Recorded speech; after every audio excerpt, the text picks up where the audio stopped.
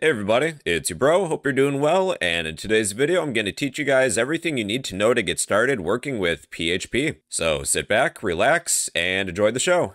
If you would like to be notified if I release new courses in the future, be sure to subscribe, because I kinda release them randomly.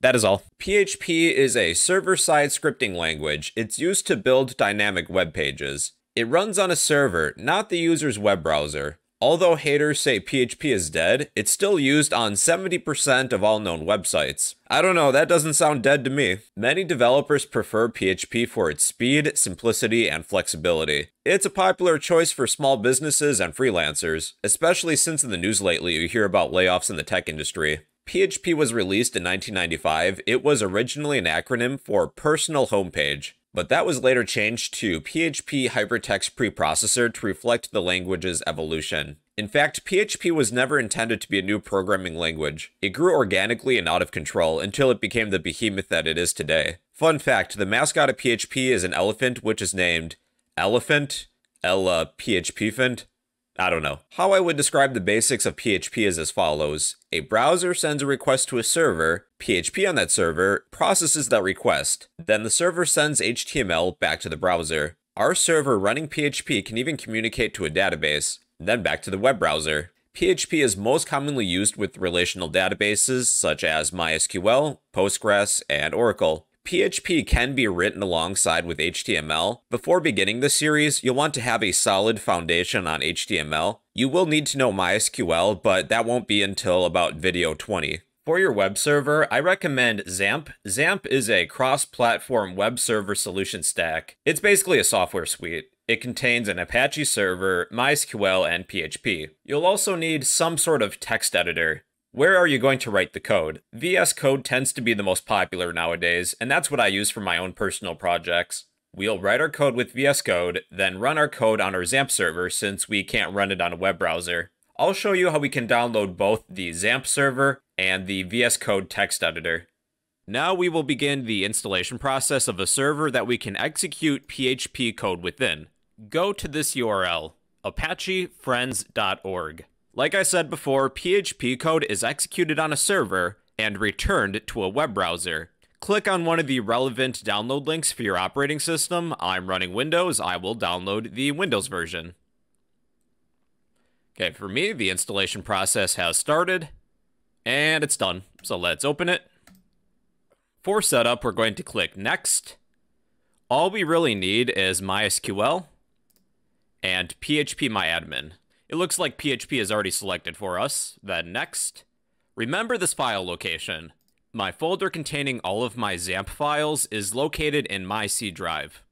Next, you can select a language. I'll pick English. Next, and give it a minute. Do you want to start the control panel now? We might as well. And finish. Here's the control panel for my XAMPP server. We will start the Apache service. If everything works, the Apache module is highlighted green. That means it's working. If you ever need to stop this module, you can hit the stop button. Let's start MySQL as well. And our MySQL server is working. If you see any red text within this log, that means there is an error. If you run into any problems, just check to see what that error was. But everything for me is running fine. This control panel will run behind the scenes. I can close out of it, but it's still running, which is important. Hey, this is Bro from the future. I forgot to mention in this video that if you ever shut down your computer, you will have to open up the control panel again and restart these services. Yeah, I forgot to mention that, so be sure to do that. Now that our XAMPP server is downloaded, we will need that VS Code text editor. I'm assuming that some of you have that downloaded already, but if you don't, here's how. If you need a text editor, I recommend Visual Studio Code. If you're interested in downloading this text editor, head to this URL, code.visualstudio.com. I'm going to click this blue download button, select the correct download link for my operating system. I'm running Windows, I will select this one. Then we will run this executable. Accept the license agreement. Yes, I did read it that fast. You do have the option of selecting a destination location. I'll keep it as the default. Next, next. I'll create a desktop icon, then next. And install. we might as well launch VS Code, then finish. I have VS Code open along with the modern web browser. I'm using Google Chrome in this series. We're going to create a new file within our XAMPP folder. So let's open a folder. Remember that file path for the XAMPP server? That's where you're going to look. For me, that was in my C drive. Go to XAMPP. Under htdocs, we're going to create a new folder. New folder. I'll name this folder website to contain my website stuff. Then I will select folder. Within my website folder, I'm going to create a new file. I will name this file index.php. The reason that I'm naming this file index is because that is the default for a home page. So we now have a PHP file. In VS Code, if you're receiving a warning that states cannot validate since a PHP installation could not be found, we need to validate the executable path of the PHP executable found within our XAMPP server. To do that, we're going to find our settings file. It's a JSON file. PHP validate executable path. Edit in the settings JSON file. Let me maximize this. Next to PHP validate executable path, we need to find the file path to the PHP executable. Again, within my C drive, within my XAMPP folder, go to PHP, then copy this file path for the executable. I'll right click, go to properties, copy this location, close out of this window, paste that executable path, then add php.exe. Then these may have to be forward slashes. Let's save. On Windows, you can press Ctrl S to save close out of these settings, and that warning goes away. I also recommend a few extensions. The first extension is PHP Intelephense. It should be this one. It gives you access to a few tools that are useful for PHP development. Let's install that plugin. Then look up the live server extension. It offers a live reload feature. Then lastly, PHP server. It allows you to serve your project with PHP. Those are the three extensions that I recommend. All right, we are now ready to get started. In a web browser, to access your XAMPP server, you can type local host as the URL. This will bring you to the XAMPP dashboard we would like to access the website folder of the XAMPP server. So let's add localhost slash the name of that folder, website. Our PHP code will execute on the server and be returned to this web browser, whatever the output is. To write some PHP code, type left angle bracket, question mark, PHP.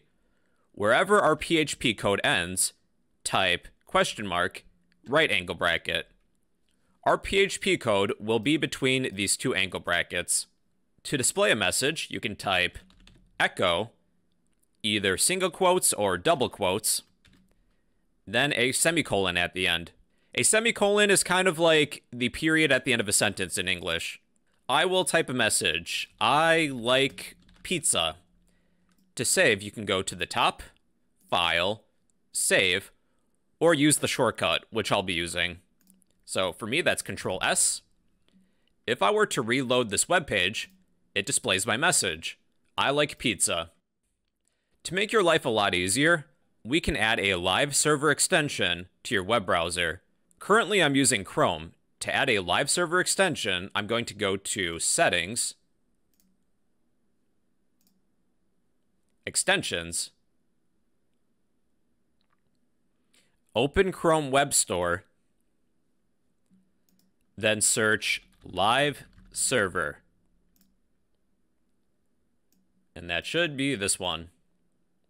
Add to Chrome. Add extension.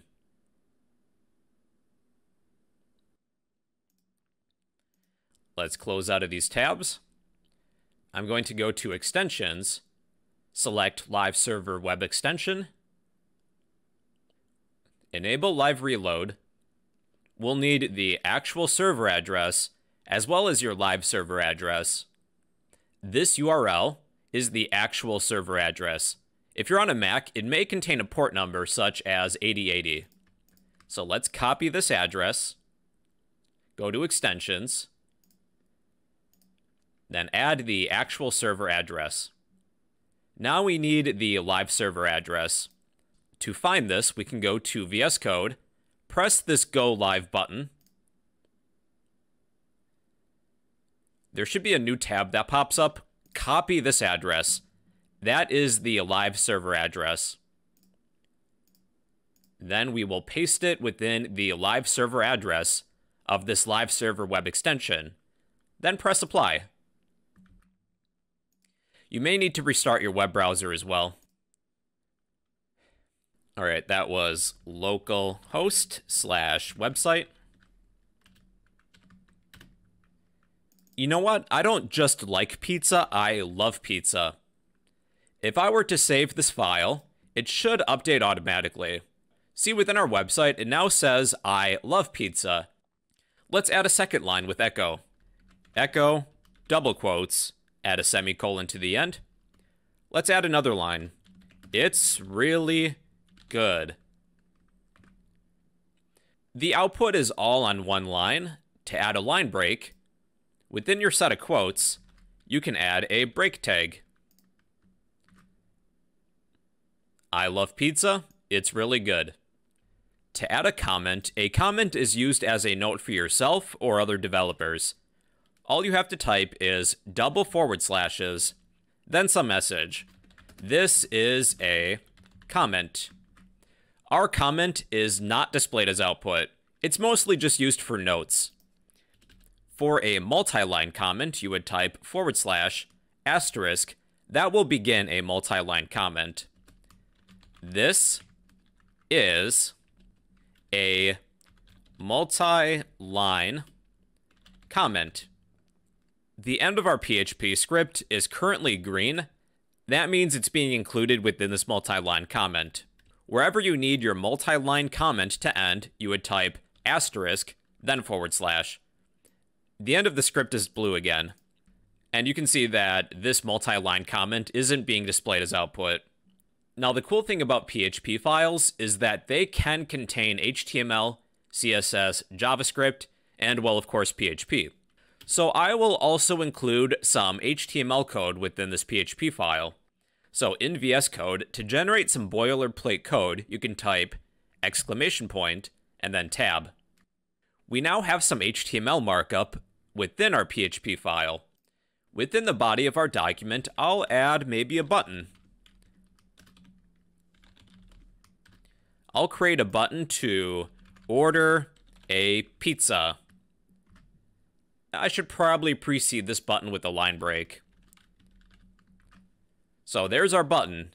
It currently doesn't do anything, but that's just a demonstration that you can include more than just PHP code within a PHP file. Alright everybody, so that is an introduction to PHP. In the next video, we'll discuss variables. Hey, if you're enjoying this video, please let me know by smashing that like button, leave a random comment down below, and subscribe if you'd like to become a fellow bro.